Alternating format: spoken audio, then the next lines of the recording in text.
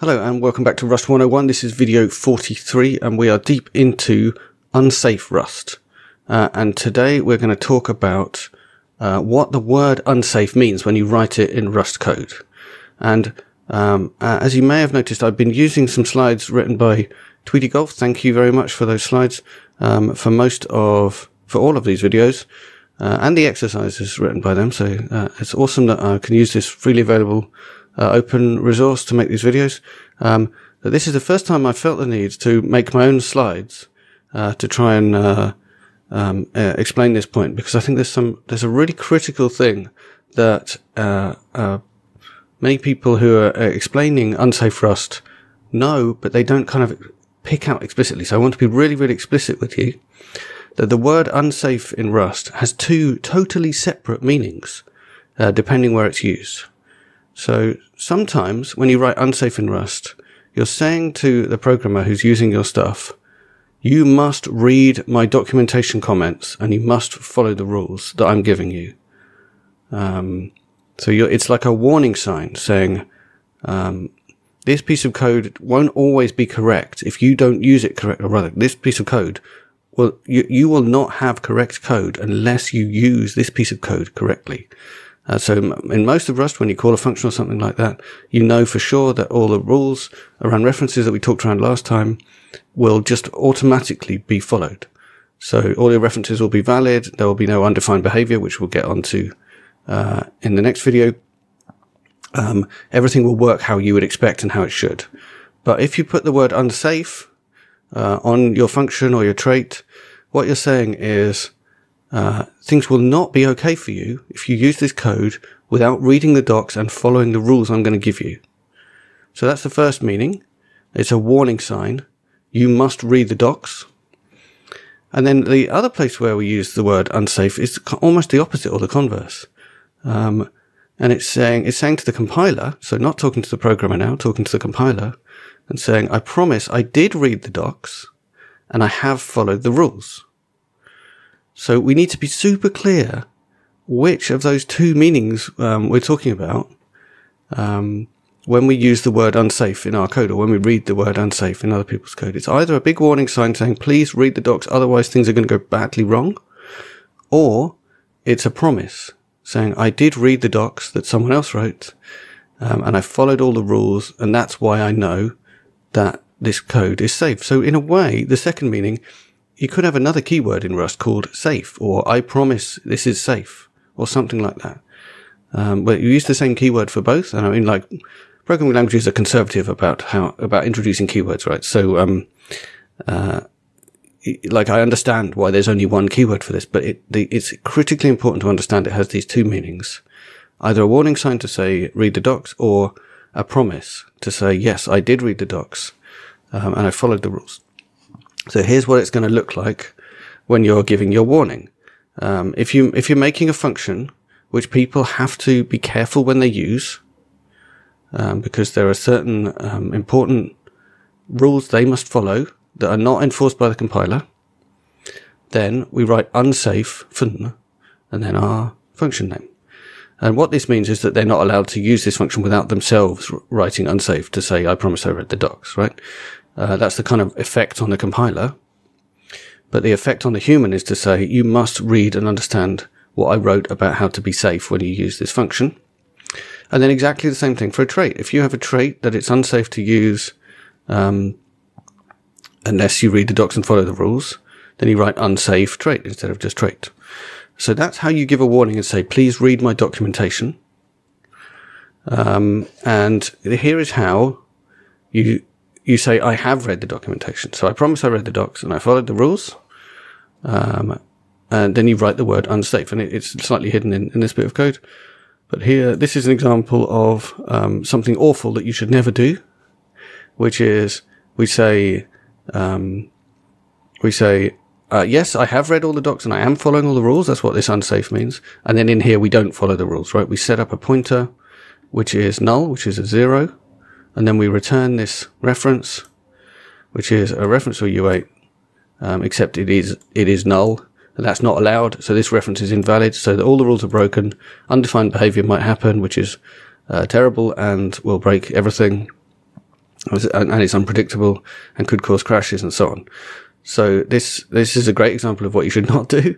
But uh, the point here is that the word unsafe here means I have followed the rules. You can trust me, compiler. Um, and if it concerns you that it's so easy to tell the compiler, actually don't follow the rules and everything, let everything go wrong, um, then I guess we could say, yeah, uh, that is concerning. But the, the, the, enormous benefit of Rust is that if you have crashes or problems that happen, um, you can focus your investigation on these unsafe blocks, these places where, where we promised to follow the rules, and try and figure out how we didn't follow the rules somehow. Okay, and same kind of thing for if someone has an unsafe trait.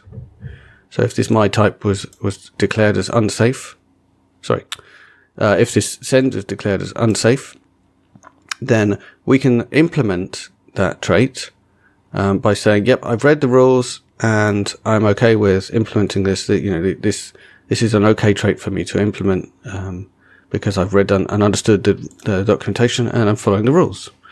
Um, there are some other examples as well. For example, if you want to access the fields of a union, a union is a type that um, has some unsafe things around it.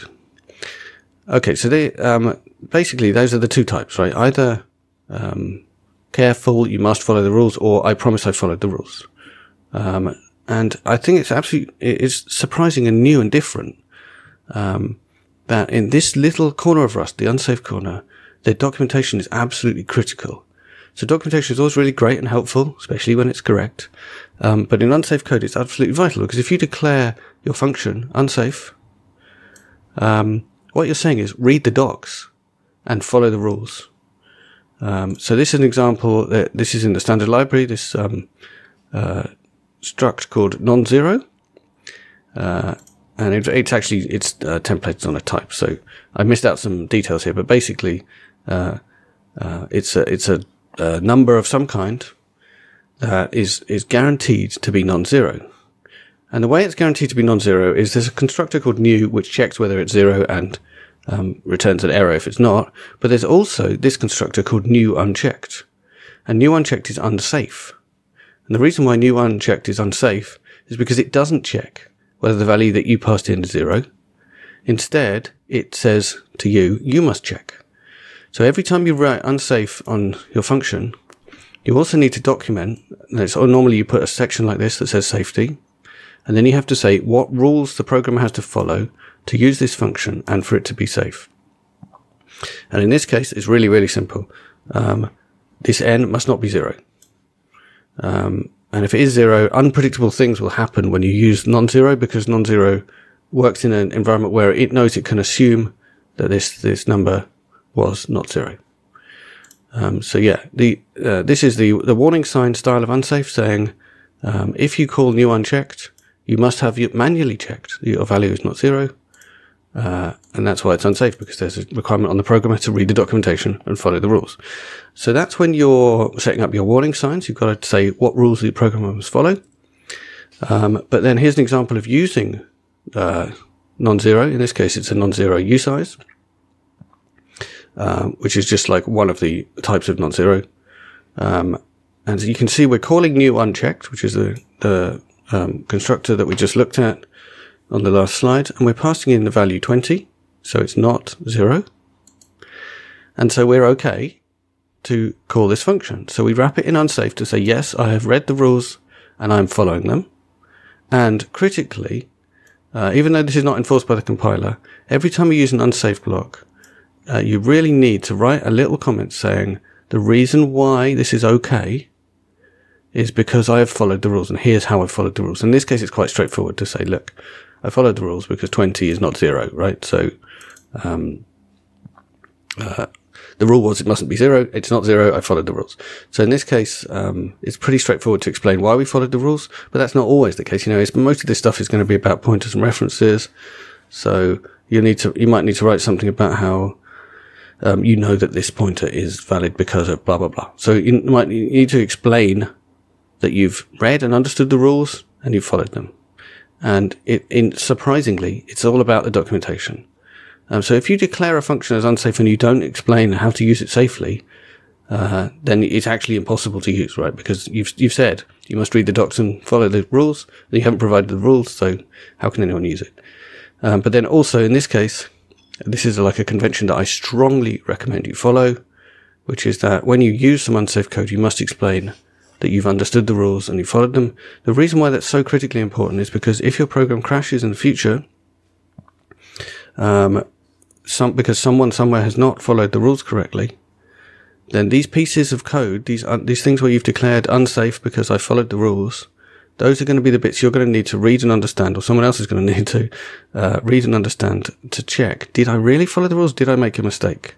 So you need to explain um, for your future self or someone else um, what your understanding of the rules was and why you think you followed them, and that will give the person a massive head start on figuring out, oh, actually, they missed the fact that this um, situation could happen, or that this rule also applied in this case. Um, so you've got to explain. You, you've got to, in my mind, got to like you know do what you like. But um, I, I really want to encourage you that because you're replacing the compiler, you need to explain your thinking because normally the compiler does this thinking for you. And that's it for this video. This this was just uh, what does unsafe mean. Next, we're going to do we're going to do a brief interlude into what is undefined behavior, like what I guess why we would want to avoid it, uh, why it why it happens in un, uh, in if you use unsafe code incorrectly, uh, and then we'll go on to some examples of what unsafe code looks like in in practice. So, hope you enjoyed. See you next time.